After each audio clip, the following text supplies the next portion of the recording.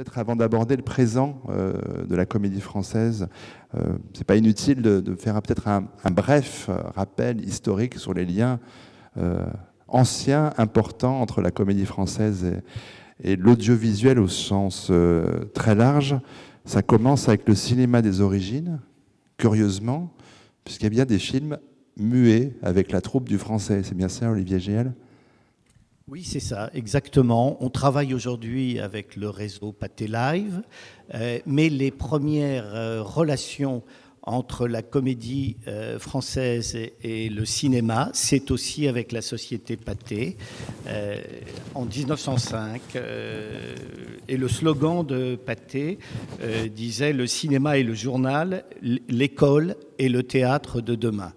Et la troupe, alors la comédie française n'avait aucune conscience à ce moment-là de ce qu'allait devenir euh, le cinéma et de cette nouvelle euh, technologie.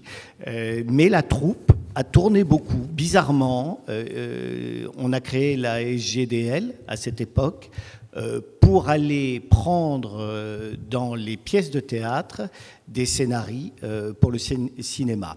Et curieusement, ils sont allés voir les acteurs qui avaient la parole et qui déclamaient le plus pour jouer, euh, pour jouer le muet. Euh, et pour se, débattre euh, sans parole. ça a donné l'assassinat du duc de Guise, qui était une référence. Dreyer et Griffiths en parlent en 1908. Ça a donné le duel d'Hamlet avec Sarah Bernard en 1900.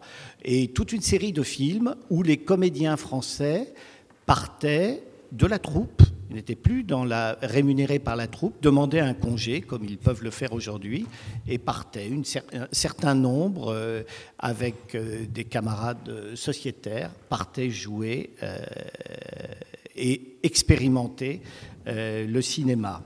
en 1934, on a fait, en 1934, l'administrateur de l'époque, Émile Fabre, a fait la première le premier enregistrement euh, dans les studios de la rue de Grenelle, euh, le ministère des était, euh, a, fait le premier enregistrement d'une pièce qui s'appelait une soirée, enfin d'un film qui s'appelait Une soirée à la Comédie Française et qui a été projeté à la salle Richelieu. Et Émile Fabre, disait à cette époque, c'était en 35 que ça a été diffusé, disait que le cinéma était l'avenir, aussi l'avenir du théâtre on voit que l'histoire est ancienne et les liens euh, euh, profonds entre euh, la comédie française et, l'audiovisuel, peut-être pour arriver évidemment plus, au présent et à, l'avenir qui nous intéresse.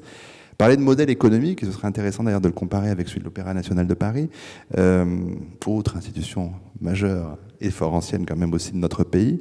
Jean-Philippe Cielé nous en parlera dans un instant. Peut-être quelques données de base pour comprendre le, le fonctionnement économique du français, Olivier Gel Ça marche comment une production au français? Alors, euh, je vais finir quand même parce que pour vous dire que toutes les, à chaque fois qu'il y a une nouvelle technologie, mmh. et ça c'est intéressant pour la suite de notre débat, euh, les techniciens, les réalisateurs, les producteurs et les diffuseurs sont venus vers le théâtre et vers la comédie française. On a eu le droit, Béatrice Bretti a été la première speakerine de la télévision, euh, avec les essais, euh, les essais de la télévision française. Ensuite, il y a eu la, il y a eu la radio, avec euh, Édouard Bourdet, très important. On a fait en 89 la première expérience de TVHD avec le Car Thompson, avec le Car Thompson aussi, et ainsi de suite. Euh, on va en reparler. Euh, on va en reparler ensuite. Dès 99, on faisait de la vidéotransmission avec la société VTHR. Société VTHR, c'était la vidéo transmission haute résolution euh, qui diffusait dans les petites villes, dans les communes, les salles des fêtes et les cinémas municipaux en France. On a fait ça pendant trois ans. Ça a donné naissance après une société qui s'appelait Ciel Écran, qui a été dirigée par Xavier Gouillou-Beauchamp. Et ensuite, Jérôme Sédou a racheté cette société avec Pathé. Donc, il y a déjà euh, près de 20 ans, 18 ans, euh, on faisait déjà de la diffusion numérique. On commençait. Est-ce qu'elle rapportait de l'argent, celle-là? Alors, l'argent, euh, on n'en est pas là. Alors, sur les modèles économiques, d'abord, je dois poser, je dois poser la situation de la comédie française pour bien comprendre.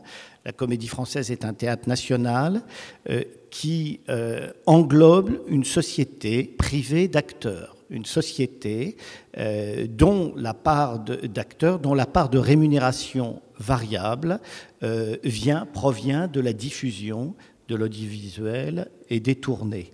Donc, tout résultat, le théâtre national est producteur, pas producteur délégué, il n'est pas éligible au, au CNC, mais il est quand même coproducteur. Vous parliez tout à l'heure de droits sui generis. Nous avons des, euh, droits de, suite, euh, si tant est qu'il y ait beaucoup de suites.